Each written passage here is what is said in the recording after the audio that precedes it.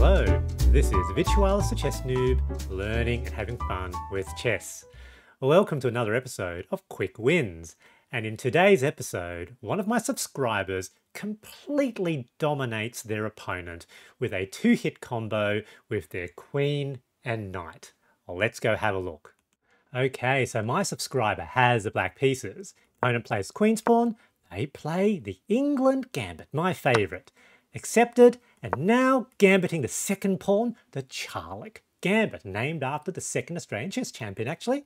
They uh, accept as well, and now capture back with bishop. And one of the things with the Charlick Gambit, it, Charlick Gambit is that all these lines are potentially open onto the opponent's king side. So aggressive, aggressive opening. Um, some basic development, knights and queen.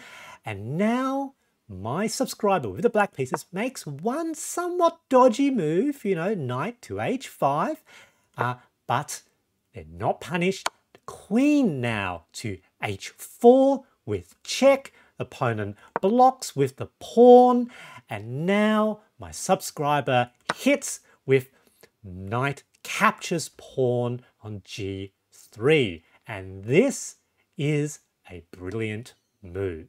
Why is it a brilliant move? Well, let's go have take a look. Well, firstly, any move of the knight will now be a discovered check.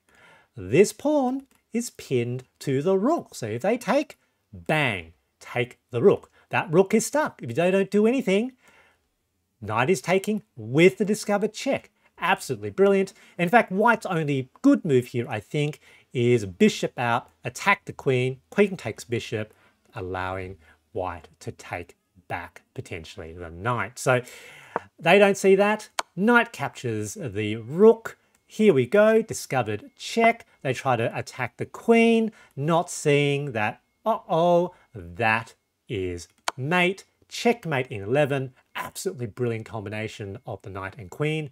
Well done.